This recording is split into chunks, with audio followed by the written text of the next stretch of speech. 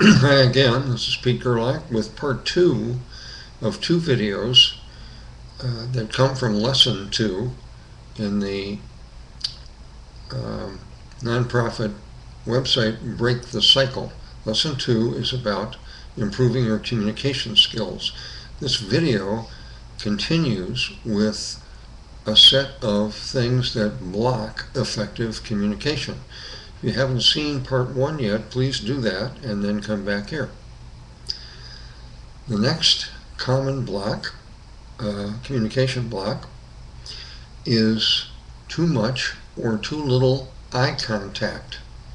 You probably already know that, uh, but how often, if you experience that, what is too much eye contact, by the way? You ever got somebody bore in on you like that? That can often make people uncomfortable. The other possibility is that people are talking to you, but they're looking off into space or looking at another person or looking at their feet. That often uh, sends an invisible message saying, I'm scared of you, uh, I don't want to look at you if something's upsetting about you.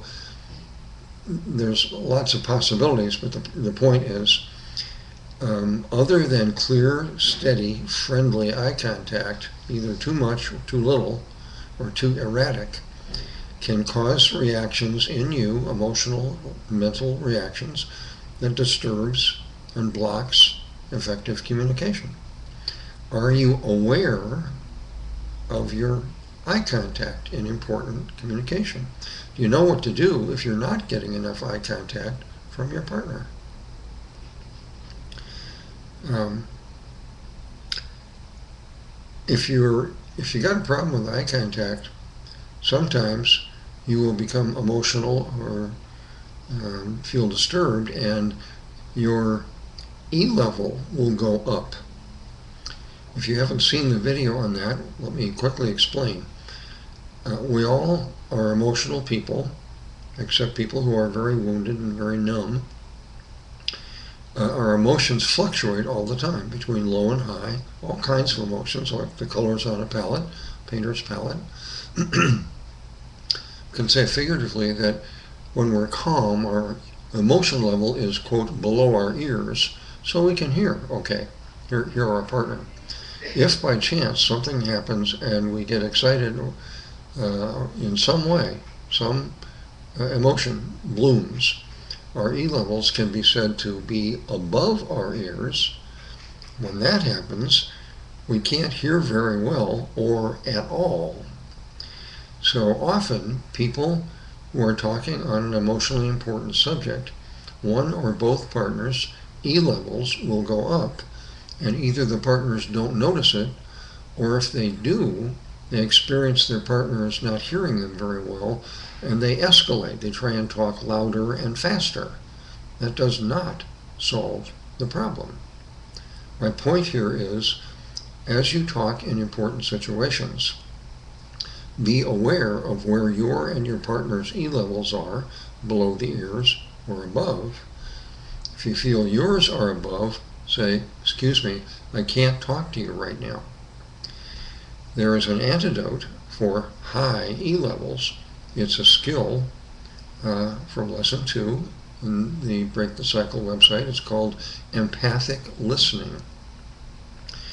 When you do empathic listening to your partner, which is saying back what you think they think they've said and they're feeling, E levels tend to come down.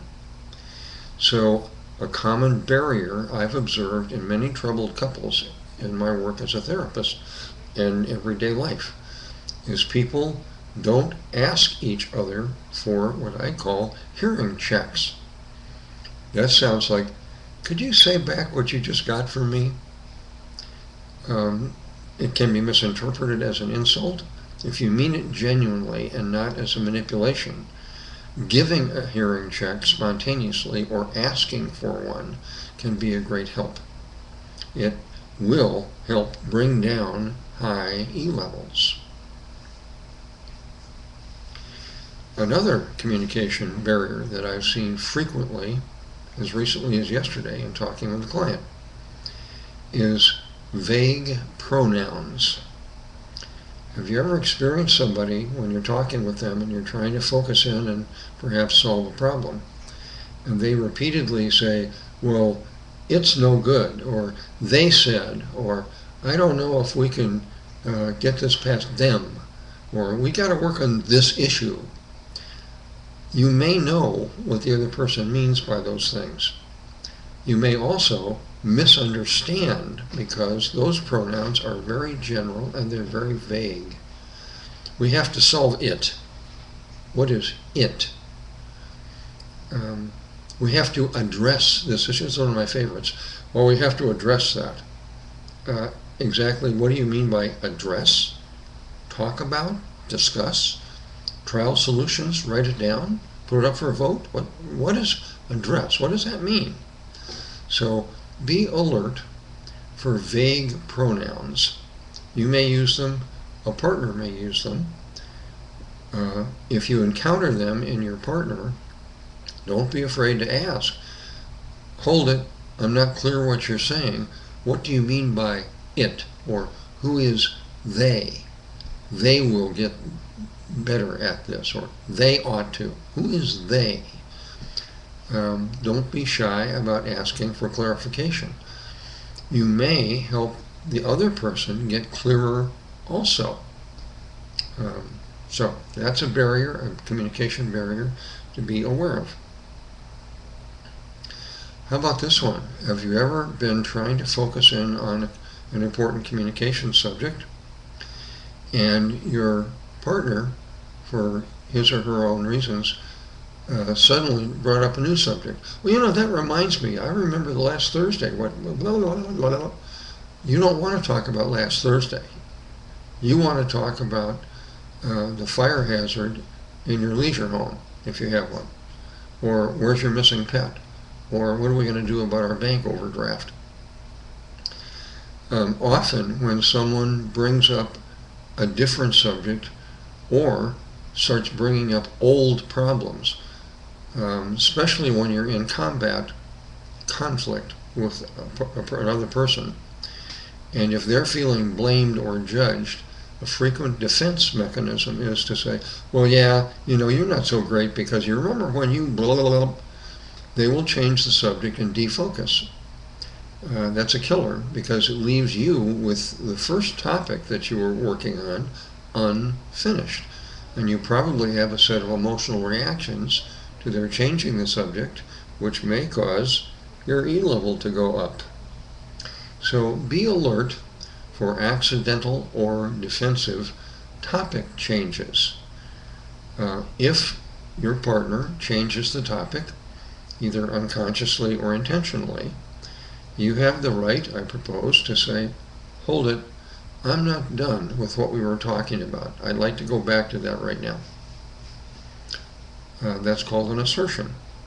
You have every right to do that.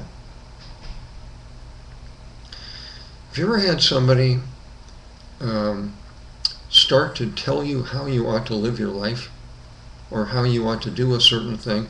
You know, if you really want to clean your rug, what you have to do is blah, blah, blah, blah, blah. Uh, you recall, you recall how that feels when someone especially with a certain face expression or voice tone, which sometimes turns out to be arrogant or egotistical. Um, you know, I really know how to detail a car. Uh, apparently, you're uh, just a beginner at it. You know, let me give you some tips. Sometimes that may be welcome information if it is sent with a respectful attitude. If it is sent with, I'm a one up person to you, let me tell you how to do it, whatever it is. Uh, let me know, let me tell you how to pray. I, I really know how to pray, but apparently you don't. That's called lecturing. At least that's what I call it. And I encourage you to be alert for that in a compassionate way. People, other people usually don't mean to lecture. Their intention is probably good, but they're not aware of what they're doing. They're not aware of the relationship message they're sending, which is one up, meaning you're one down instead of equal equal. So be alert to a feeling of I'm being lectured to. If that happens, an option you have is to say, excuse me, I'm really feeling lectured at by now, rather than saying, you're lecturing me. Your lecturing me is an attack. I'm feeling lectured right now by you is a report. And you are the best person on earth to report how you're feeling. So be alert for lectures or moralizing or preaching as you're communicating in important topics with certain people. It's real easy for parents, by the way, to lecture kids, right? It's a fine line between instructing and guiding and lecturing. Lecturing and flooding tend to go together, by the way. Have you noticed that? Here's another one. Um, there are several people in my family who, are, who choose to be extremely busy all the time, and when they talk to me or uh, attempt to talk to me, often they're doing two things at once. They're driving a car, they're washing dishes, uh, they're tending children, they're maybe talking intermittently with another person in the room, you know, blah, blah, blah, blah. Hey, what do you think about blah, blah, blah, blah, blah, blah, blah, blah, blah. I don't know how that is for you, but it really feels distracting and somewhat disrespectful to me. Sometimes it's necessary. Sometimes it could be different if you are doing it or the other person is doing it without realizing it. If someone does that to you, an option you have is to say, excuse me, I'm really feeling a little frustrated that you're, you're trying to focus on two things at once. I'd really appreciate your full attention for the next few minutes. Can you do that? You have options here. You don't have to endure it. Okay? Another uh, and final communication block I want to mention to you is something that can be called hand grenade words. I bet you, like most of us, react strongly to certain emotionally loaded words. You probably have your own inventory of these words. For instance, rape, um, screw up, failure, nigger, kike, uh, raghead.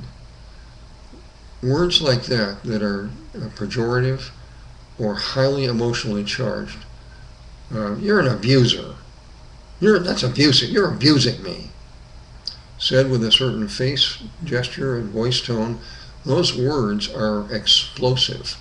They cause strong emotional reactions, often defensiveness, guilt, resentment, hurt, anger. Your E level goes up, your hearing stops, communication goes down the chute be aware of either yourself using hand grenade words or your communication partner un, um, unconsciously using words that cause a strong reaction in you. If that happens, it's okay to stop and say so. Excuse me, that word really stirs me up. I have to calm down for a minute. Give me a moment. Or something. These are several more of the almost 20 common communication blocks that as a student of communication for 40 years I have witnessed over and over and over again. The key is lack of awareness. People don't know what their process is. And ignorance. They don't know these are communication barriers and even if they do, they don't know what to do about them. I urge you to study the Lesson 2 videos in YouTube, and, even better, study Lesson 2 itself in the Break the Cycle website. It's free. There are no ads, no commercials. I'm selling nothing but knowledge. I hope you'll try it out. Thanks for watching.